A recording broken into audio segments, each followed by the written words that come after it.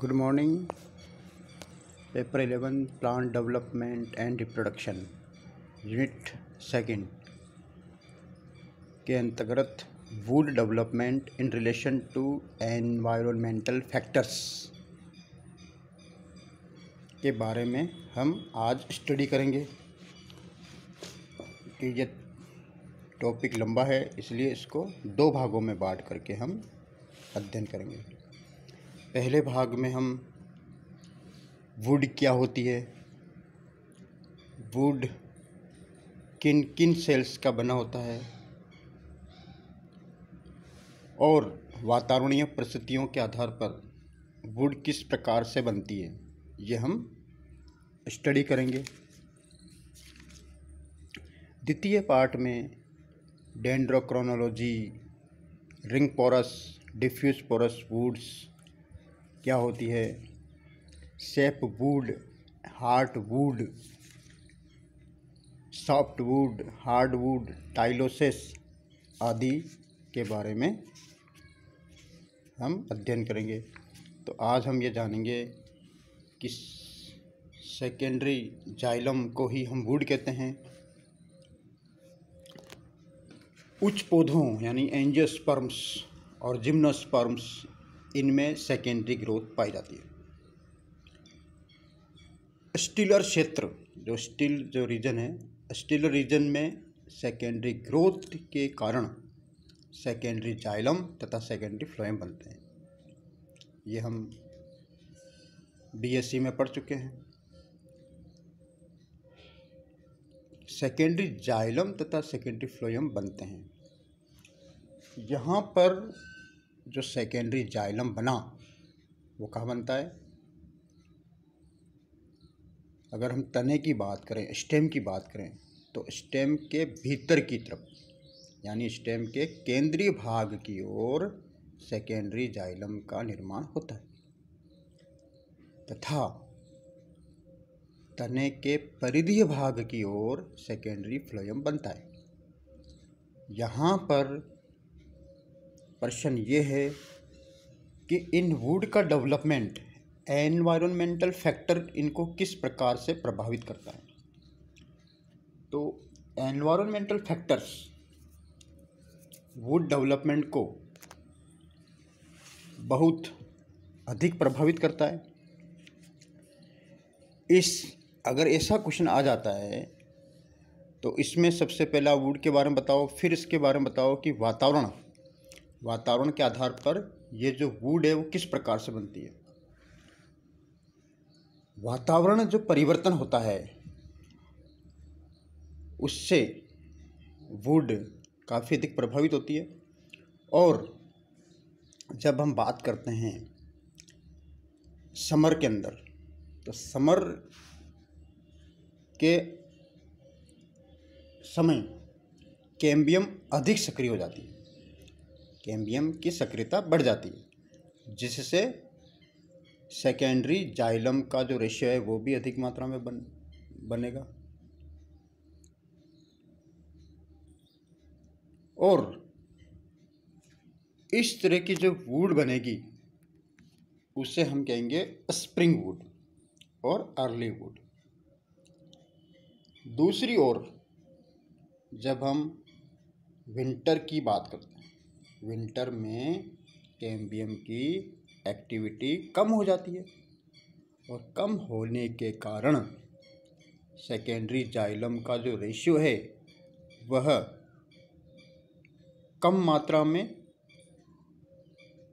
बनेगा। अर्थात वह बहुत ही कम वुड बनाएगा। और ऐसी वुड को हम कहते हैं ऑटम वुड लेट वुड और विंटर वुड अभी हम इसके बारे में बहुत ही अधिक डिटेल में बात करेंगे। तो यहाँ पर कहने का अर्थ है कि ऐसा क्वेश्चन आ जाता है तो आप वुड के बारे में बताओ। फिर ये ये जो मैंने बताया अभी कि ऑटम वुड है है ना, और स्प्रिंग वुड है, इन दोनों वुड को मिला करके एक एक रिंग बनती है। उस रिंग को हम कहते हैं ग्रोथ रिंग, दोनों को मिला करके। दोनों सीज़न की वुड को मिला एक वर्ष में दो सीज़न होते हैं तो दोनों वुड को मिला करके वो इक्वलेंट किसके हैं? एनुअल रिंग्स एनुअल रिंग एक क्वेश्चन की बात करें एनुअल रिंग और ग्रोथ रिंग तो एक ग्रोथ रिंग यानी एक वर्ष में दो प्रकार की जो वुड बनी, ये कब बनेगी? ये अधिक स्पष्ट किस्म दिखाई देगी। वहाँ जहाँ वातावरणीय परिवर्तन बहुत अधिक हो, जहाँ पे विंटर भी स्पष्ट हो और समर भी स्पष्ट हो। तो इस प्रकार का वातावरणीय परिवर्तन कहाँ अधिक हो, स्पष्ट होगा? वो होगा टेम्परेट रीजन के अंतर्गत। जैसे जैसे हिमालय क्षेत्र है है ना? तो वहाँ पे दोनों जो सीज़न है, बहुत ही मतलब दोनों वातावरणीय परिवर्तन बहुत ही स्पष्ट होते हैं। लेकिन यही बात हम जब ऐसे वातावरणीय परिवर्तन की बात करते हैं जहाँ वातावरणीय परिवर्तन होता ही नहीं है मतलब एनवायरमेंटल जो फैक्टर्स है वो है ही नहीं। वो यूनिफॉर्म है, साल भर यूनिफॉर्म है। तो वहाँ पे वुड तो बनेगी, लेकिन दोनों की मात्रा बराबर बराबर रहेगी। ठीक है ना? तो वहाँ पे हम कौन सी वुड अर्ली है, कौन सी वुड लेट है उसका डिफ्रेंटेशन नहीं कर पाएँगे। अर्थात कहने का अर्थ ये है कि वहाँ पे एनुअल रिंग स्पष्ट नहीं होते हैं। ग्रोथ रिंग स्पष्ट नहीं होती है। हम पहचान नहीं पाएँगे कि कौन सी वुड ऑटम है, कौन सी वुड समर। तो इस प्रकार का वातावरणीय परिवर्तन, जहाँ पर वातावरणीय परिवर्तन नहीं हो तो इस प्रकार की जो परिस्थिति है वो कहाँ मिलेगी? वो मिलेगी अपने ट्रॉपिकल रीजन के अंदर। तो ट्रॉपिकल रीजन जो है, वहाँ पे वातावरणीय परिवर्तन एक जैसा रहता है। और टेम्परेट में वातावरणीय परिवर्तन बहुत अधिक स्पष्ट होता है तो वहाँ पे ग्रोथ रिंग भी स्पष्ट होती है। तो अभी हम सबसे पहले तो हम वुड की बात कर लेते हैं। तो यहाँ पे वुड आया शब्द वुड टर्म आया कभी क्वेश्चन आ जाता है छोटे नंबर वुड क्या है? व्हाट इज़ वुड तो वुड का अर्थ एक ही आ, हम वर्ड की बात करें एक ही शब्द की बात करते हैं wood is a secondary xylem कि वुड जो है वो सेकेंडरी जाइलम है। अब कभी जैसे अभी मैंने बताया कि स्टीलर क्षेत्र में सेकेंडरी ग्रोथ के कारण द्वितीयक जाइलम, यानी सेकेंडरी जाइलम तथा सेकेंडरी फ्लोएम बनता है। तो यहाँ पे सेकेंडरी जाइलम को तो हमने नाम दे दिया वुड जबकि सेकेंडरी फ्लोएम को हम कहते हैं बार्क बार्क कहते हैं। तो बार्क जब हम तने की बात करते हैं स्टेम की बात करते हैं, या काष्टी वृक्षों की बात करते हैं बार सब बार्क सबसे बाहर की ओर होता है, छाल जिसे कहते हैं। ठीक है और जो अंदर के, तने के केंद्रीय भाग में जो होते हैं, उसे हम कहते हैं सेकेंडरी जाइलम। तो सेकेंडरी जाइलम भीतर की और केंद्रीय भाग की ओर निर्मित होता है? और जो सेकेंडरी फ्लोयम है, वो तने के परिधीय यानी बाहरी क्षेत्र की ओर निर्मित होता है। तो वेस्कुलर कैम्बियम के द्वारा सेकेंडरी जाइलम स्टेम के भीतर की ओर या पित्त की ओर परिवर्तित होता है। वृक्षों के तनों का अधिकांश भाग सेकेंडरी जाइलम द्वारा भरा रहता है। सेकेंडरी जाइलम में विभिन्न प्रकार की सेल्स होती है, जिसमें tracheids vessels sclerenchymatous fibres secondary xylem parenchyma secondary xylem को ही वुड कहते हैं। सेकेंडरी जाइलम में सेल्स का दो प्रकार का अरेंजमेंट पाया जाता है। एक अरेंजमेंट होता है एक्सियल और दूसरा होता है रेडियल इनको हम सिस्टम के नाम से देते हैं एक्सियल और vertical system radial system secondary xylem में एक्सियल सिस्टम में वेसल्स ट्रैकिड्स, जाइलम फाइबर्स व जाइलम पेरेनकाइमा होते हैं। इन सभी को अनुदेद्री अक्ष, पादप अंग की अनुदेद्री अक्ष के समांतर होते हैं। अनुप्रस्थ या अर्य तंत्र में मुख्य रे किरणों के पेरेनकाइमा होते हैं। इन सेल्स का अनुदेद्री अक्ष केंद्रीय सिलेंडर के समकोण पर होता है। यह तंत्र सेकेंडरी जाइलम में जाइलम रेज या पित रेज बनाता है। यह सिस्टम प्राइमरी जाइलम में नहीं पाया जाता। टीएस में सेकेंडरी जाइलम का अर्य विन्यास दिखाई देता है। जाइलम रेशे या वुड फाइबर का अनुपात अधिक होता है। सेकेंडरी जाइलम की वेसल्स व ट्रैकेट्स प्राइमरी जाइलम की तुलना में कम लंबी, लेकिन अधिक डायमीटर की या अधिक ब्रॉड होती है। जाइलम पेरेनकाइमा का रेशियो अपेक्षाकृत कम होता है। सेकेंडरी जाइलम में इनका डिस्ट्रीब्यूशन दो प्रकार का पाया जाता है। जाइलम पेरेनकाइमा वेसल्स के साथ व्यवस्थित रहता है, तब इसे हम पेराट्रेकियल पेरेनेकाइमा कहते हैं। यह आमतौर पर मिलता है डिलोनिक्स रीजिया जिसे गुलमोर कहते हैं, उनमें मिलता है। जाइलम पेरेनेकाइमा का डिस्ट्रीब्यूशन इरेगुलर होता है और यह वेसल्स ट्रैकिड्स व फाइबर्स के मध्य इधर उधर बिखरे हुए दिखाई देते हैं, तब इसे एपोट्रेकियल या डिफ्यूज पेरेनेकाइमा कहते हैं। जाइलम पेरेनेकाइमा में स्टार्च, फैट, टेनिन व अन्य पदार्थ स्टोर रहते हैं। यह सामान्य प्रकार का है। Xylem raise. सेकेंडरी जाइलम के क्षेत्र में उपस्थित रेज को जाइलम रेज कहते हैं। ये सेकेंडरी जाइलम का रेडियल सिस्टम बनाती है। इनका परिवर्धन कैम्बियम की रे इनिशियल से होता है। इनके अनुदेद्री अक्ष तने की अरी दिशा में होते हैं। इनका मुख्य कार्य मोटे तने में जाइलम व जाइलम के बाहर परिधीय क्षेत्र में स्थित लिविंग सेल्स की दिशा में वाटर व फ़ूड का कंडक्शन करना है। जाइलम रेज दो प्रकार की होती है। प्रथम प्रकार की होमो सेल्यूलर रेज और द्वितीय प्रकार की heterocellular rays homocellular rays जैसे नाम से पता चल रहा है कि ये एक ही प्रकार की सेल्स की बनी होती है, इसलिए इन्हें होमो सेल्यूलर रेज कहते हैं। हेटेरो मतलब दो डिफरेंट प्रकार की सेल्स से मिलकर, मिलने से बनती है, इसलिए इन्हें हेटेरो सेल्यूलर रेज कहते हैं।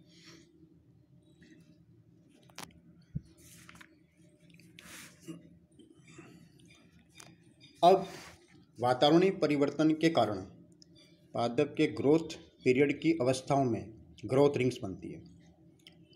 पेरेनियल प्लांट्स के सेकेंडरी जाइलम में विभिन्न मोटाई के कंसेंट्रिक लेयर पाए जाते हैं।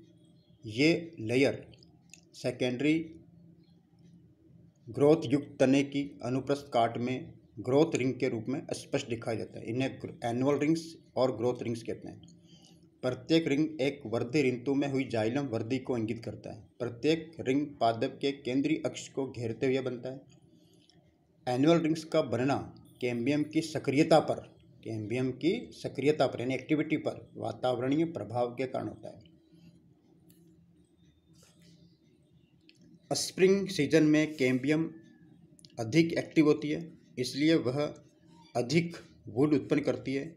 ऐसी वुड को हम स्प्रिंग वुड अर्ली वुड और समर वुड कहते हैं। विंटर पीरियड में कैम्बियम की एक्टिविटी कम हो जाती है, जिससे वुड कम बनती है। इस वुड को ऑटम वुड, लेट वुड या विंटर वुड कहते हैं। वातावरणीय परिवर्तन के कारण पादप के ग्रोथ पीरियड की स्टेजेस में ग्रोथ रिंग्स बनती है। वर्दी ऋतु की प्रारंभिक अवस्था में बना सेकेंडरी जाइलम अर्ली वुड कहलाता है और वर्दी ऋतु के अंतिम चरण में बना सेकेंड जाइलम लेट वुड कहलाता है। अर्ली वुड और लेट वुड का डेवलपमेंट वेस्कुलर कैम्बियम पर एनवायरमेंटल फैक्टर के प्रभाव के कारण होता है। टेम्परेट रीजन में विंटर पीरियड में कैम्बियम की सक्रियता बहुत कम हो जाती है और नई सेल्स नहीं बनती। अनुकूल फेवरेबल स्प्रिंग सीज़न के आने पर कैम्बियम पुनः एक्टिव होकर डिवीज़न करना आरंभ कर देती है। इस समय कैम्बियम अधिक सक्रिय होती है, अधिक एक्टिव होती है, इसलिए इस सीज़न में बने जाइलम का अनुपात अधिक होता है। तथा इससे चौड़ी गुहिका युक्त वेसल्स बनती है। यह सेकेंडरी जाइलम स्प्रिंग वुड कहलाता है। यह वुड हल्के भूरे रंग की होती है। प्रतिकूल यानी अनफेवरेबल एडवर्स कंडीशन ओटम में कैम्बियम की सक्रियता क्रमश कम हो जाती है। अतः द्वितीय जाइलम का अनुपात कम होता है। यह संकरी गुहिका युक्त वेसल्स बनाता है। इस वुड को ओटम वुड लेट वुड और विंटर वुड कहते हैं। यह वुड गहरे भूरे रंग की होती है।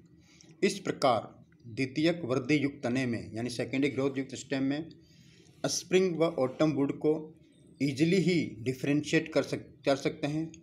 सेकेंडरी ग्रोथ युक्त स्टेम की अनुप्रस्थ काट में दोनों वुड की कंसेंट्रिक वलय स्पष्ट दिखाई देती है। प्रत्येक रिंग में अंदर की ओर, अंदर की ओर स्प्रिंग वुड तथा बाहर की ओर ऑटम वुड होती है। एक वर्ष की सेकेंडरी ग्रोथ में एक अधिक चौड़ा वलय स्प्रिंग वुड का तथा दूसरा कम चौड़ा रिंग ऑटम वुड का होता है। इन्हें ही एनुअल रिंग्स कहते हैं और एनुअल रिंग्स में ये एक दूसरे से एकांतरित रूप में पाए जाते हैं। तो इसके पार्ट सेकंड में हम dendrochronology ring porous diffuse porous ये छोटे छोटे टर्मिनोलॉजी है, वो हम अध्ययन करेंगे।